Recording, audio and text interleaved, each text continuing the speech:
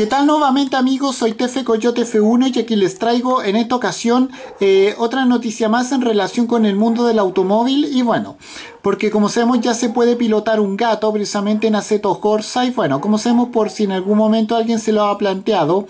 la magia de los mods hizo posible esto. Bueno, yo soy muy fanático de los mods en videojuegos de todo tipo, no solamente en videojuegos de, de carreras de auto y bueno. Eh, y me, y me encantaría jugar algún día videojuegos como Aceto Corsa o R-Factor donde se, se, pueden incluir todos estos tipos de mods y bueno, pero sin más que decir vamos a hablar un poco de aquello. Bueno, le ha pasado a todo el mundo, se está jugando a un videojuego de carreras pero ninguno de los, eh, de los cientos de coches de ciudad, eh, o sea, de competición o históricos que se proponen llaman la atención y bueno. Lo que alguien quiere de verdad es correr con otra cosa completamente diferente, como por ejemplo un gato sentado. Y bueno, gracias a la milagrosa comunidad de modding de, del videojuego Acerto Corsa, eh, esta posibilidad por fin ya, está, ya existe. Y bueno, un fragmento compartido por un usuario precisamente de la red social Twitter muestra que el mínimo eh, es capaz de dar una vuelta al siempre exigente circuito de eh, su su, su cuba precisamente en menos de un minuto, incluso luego de trompear sin control dentro de tres curvas y ya en un tiempo respetable para un automóvil, se imaginan para un animal eh, con la forma física de Garfield. Bueno,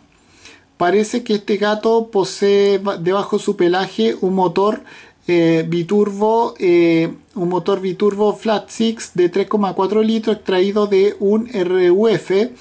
como era de esperar, este gato se conduce, se maneja muy similarmente al, de, al del modelo donante,